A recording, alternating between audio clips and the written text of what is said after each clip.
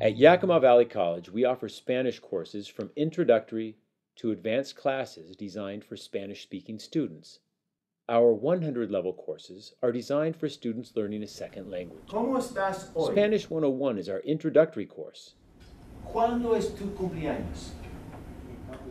Students with more than two years of high school Spanish can enroll in Spanish 102 or Spanish 103. Our heritage Spanish courses, Spanish 231, 232, and 233, are specifically for students who have grown up speaking Spanish in the home.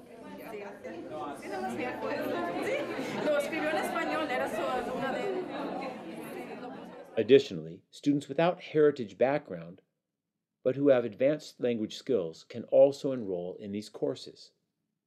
Sometimes people may wonder if there's a course prerequisite to enroll in Spanish 231, 232, or 233. But the only requirement for SHL is to have been exposed to Spanish at home. We offer three heritage courses each academic year, one course per quarter. Spanish 231 focuses on Spanish for professional speaking. Les hablé de la coreografía, de las tradiciones, costumbres, Spanish 232 develops academic writing skills. And Spanish 233 emphasizes academic reading and the development of literacy skills. These courses can be taken in any order during any quarter of the school year. And we instruct these courses on the Yakima and Grandview campuses. Why take SHL? SHL Spanish courses count toward humanities distribution and or core elective credits. Also, these languages fulfill language admission requirements for transfer to four-year colleges.